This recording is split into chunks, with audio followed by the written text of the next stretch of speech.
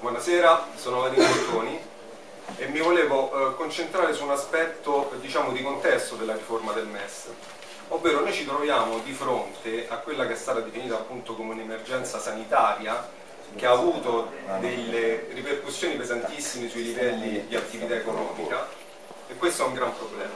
Ma questa riforma in realtà poi, eh, questo, eh, questa emergenza in realtà si sovrappone ad un'altra emergenza che è più duratura, che è quella che vede i livelli declinanti di crescita di produttività e di redditi già da molti anni a questa parte. Questo pone dei seri problemi alla Banca Centrale Europea, ad esempio a tutte le banche centrali del mondo, che hanno in questo momento alzato le mani, cioè da diversi mesi a questa parte stanno dicendo che se non interviene la politica fiscale eh, la situazione non può essere ripresa, hanno esaurito appunto gli strumenti e su questo poi oggi questo richiamo dello Stato viene ribadito tramite appunto anche il, il problema del, eh, dell'emergenza del coronavirus da grandissima parte dell'establishment che stiamo vedendo ma allora qual è il punto? E cosa, qual è la prospettiva che apre questo richiamo dello Stato? Il punto innanzitutto è che questo richiamo è stato fatto non quando i livelli di disoccupazione, di povertà eh, erano insostenibili, perché in quel frangente la crisi la stava pagando il popolo. Questo richiamo è stato fatto nel momento in cui gli interessi dei grandi gruppi bancari e finanziari e assicurativi sono cominciati ad entrare in crisi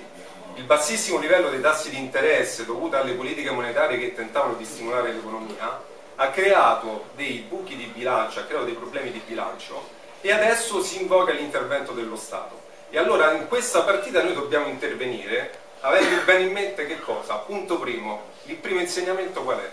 Che i soldi se servono vengono creati.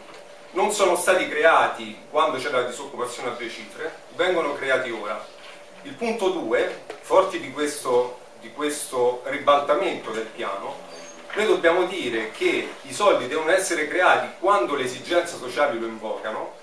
e la gestione quindi dell'intervento dello Stato dell'economia non può essere una riproduzione di governo tecnico così come avveniva nell'ambito della politica monetaria. Perché vedete il gestire la situazione tramite eh,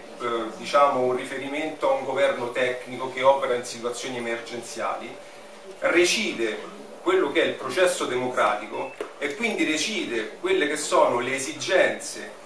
dei diritti sociali che devono essere trasmesse ai vertici della democrazia e che deve operare appunto assecondandole.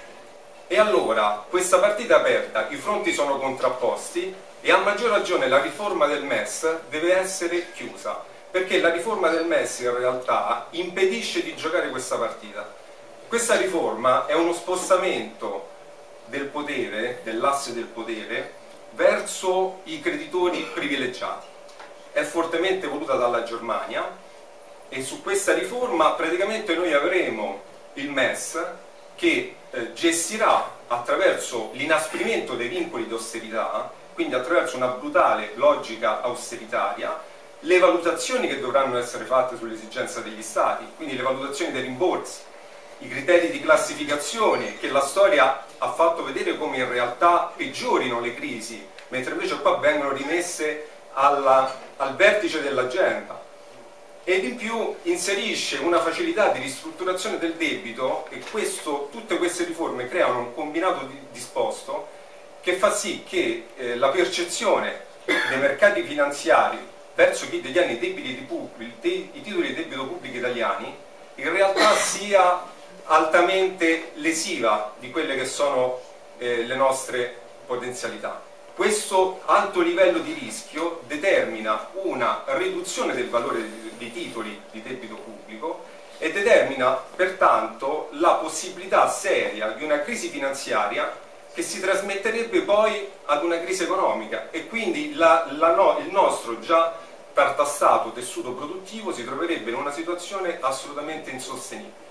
Pertanto il rimandare al mittente la riforma del MES è la possibilità per noi di giocarci questa partita e di aprire un nuovo modello di sviluppo economico e sociale.